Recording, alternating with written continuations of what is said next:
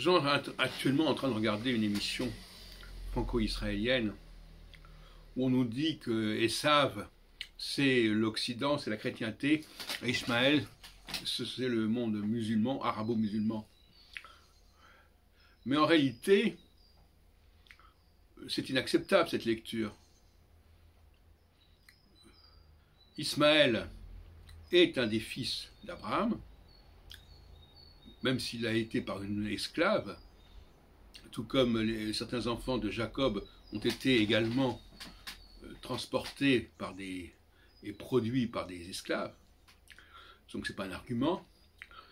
Et Esav, Esaü, est également un enfant d'Isaac au même titre que Jacob.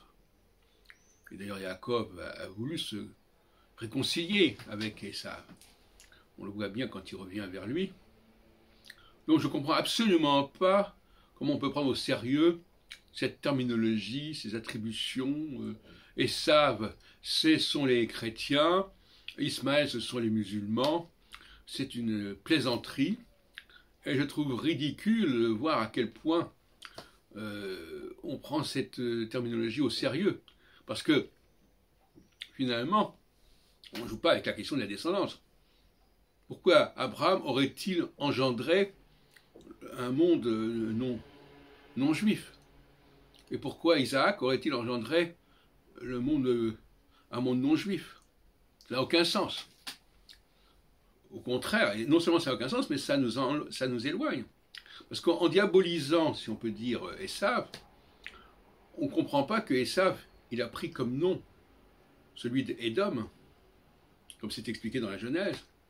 Edom, Aleph, Dalet même, ce sont les mêmes lettres que Adam.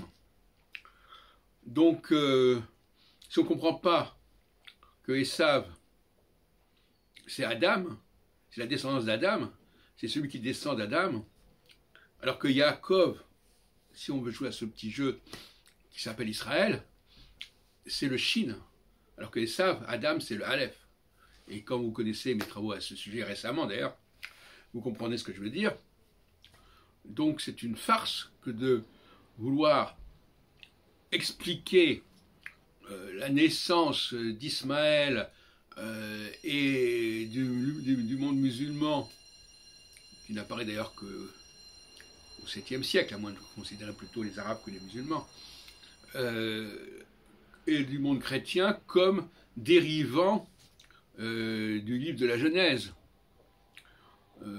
qui est d'ailleurs lui-même une invention des Israélites, c'est un problème encore, comme le livre de l'Exode, dont le nom même, Shemot, puisque c'est le nom qu'on donne en hébreu, le mot Exode venant de la, de la Septante, Shemot, ça, ça, vient, ça commence par un Chine.